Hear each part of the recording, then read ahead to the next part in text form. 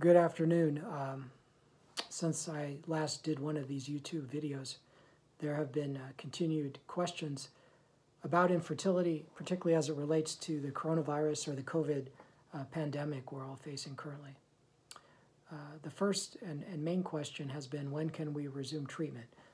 And as you know, the American Society of Reproductive Medicine came out a couple weeks ago with a guidance that stated we should curtail all treatments including ovulation induction, intrauterine insemination, egg retrievals, and embryo transfers for patients that weren't currently on medication and in the midst of their treatment. We and most other clinics have done so. Um, yet we realize that as this crisis continues, uh, COVID will probably be with us for months and months. And of course, some of our patients have a time uh, sensitivity to their infertility treatment. Every month they get older, their eggs get older, and their chance to have a baby declines. In fact, for some patients, a three to six month delay could mean the difference between having a baby with their own genetics and requiring egg donation. So, with that said, um, a task force of about 400 fertility experts around the country um, has gathered together and asked ASRM to uh, rethink um, their initial guidance. Um, they had a productive meeting with ASRM, and out of that um, came the most recent update to ASRM guidelines that was released a day or two ago.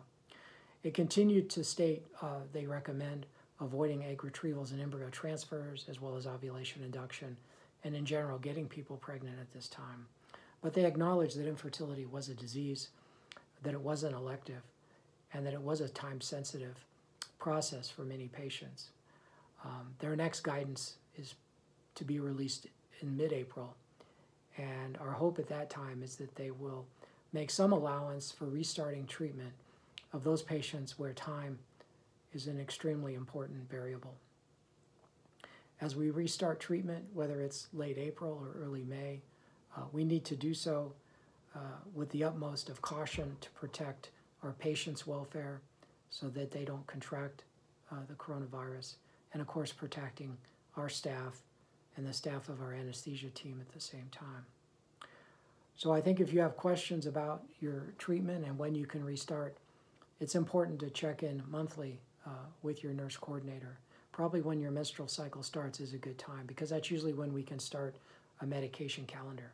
And I would check in monthly because either the next period or the second period from now is probably going to be a time where we can resume treatment. Um, at least that's my sincere hope. Secondly, many of you have had success at CCRM. You're currently pregnant, but of course, you're very concerned with the COVID situation vis a vis your baby. Um, the American College of OBGYN has stated on their website that it appears the coronavirus does not cause more severe disease in pregnant women than non pregnant women. So while it's never good to catch the virus, it doesn't appear to put you at higher risk if you're pregnant uh, compared to a non pregnant person. Nevertheless, you should do everything that's being recommended by the CDC to minimize your risk for contracting the virus. There's no clear evidence that the virus is vertically transmitted, that is, from you if you were to contract coronavirus to the baby in utero, but we're still learning more about the effects of the coronavirus in pregnancy. And I'm sure in the next six to 12 months, um, we'll have a better understanding of what impact the virus in a mom could have on the unborn baby. Certainly, if you get a severe uh, infection with high fever, that high fever could lead to stillbirth or miscarriage and potentially birth defects such as neural tube defects. So, again, avoiding infection by social distancing, proper hand washing techniques, uh, potentially using a face mask in, if you're in a busy area around people at risk, and of course, avoiding unnecessary travel are all important things for you to consider. Um, I wish you the best until we talk again. Good luck with your fertility journey if you're pursuing pregnancy.